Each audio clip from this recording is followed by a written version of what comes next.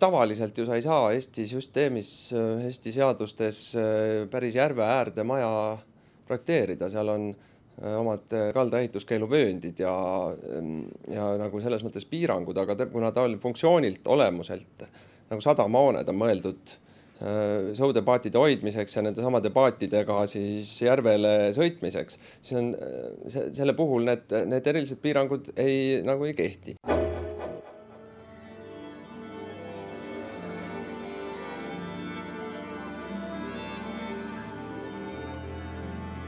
Kui žürii sõitis mööda Eestimaad ringi ja jõudsime otsapidi Viljandi järve äärde, siis oli tegelikult nagu meeldiv üllatus, et muidu utilitaarsele hoonele ei antud mõnes mõttes nagu sümboolne vorm ja tegelikult on tegemist nagu viie fassaadiga majaga, kus katust on ka näha, kuna ta on Viljandi oru põhjas, nii-öelda järveoru põhjas.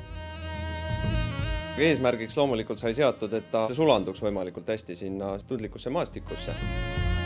ülesandest nagu mõnes mõttes kasvas siis see see maja mahuline lahendus niiviisi välja, et see, see maja ja piire moodustavad mahulise süsteemi, mis nagu justkui loomulikul teel sealt maastikust välja voolab või välja kasvab.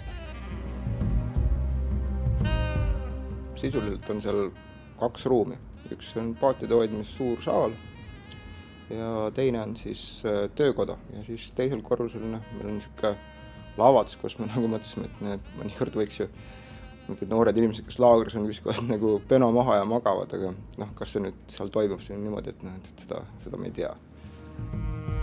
ta on nagu tehtud niimoodi, et on äh, metallvaiade peale ehitatud plaat, mille peal nagu kogu see konstruii nagu toetub. et me tegelikult ju kaevasime Viljandi järve suuremaks, et need piirid maa ja vee vahel oleks sellised hästi selged ja loogilised ja ilusad et see torn andis nagu selliseid täiendavaid mahulisi võimalusi, see väga lihtne maja siis niimoodi väärikalt maastikusse panna.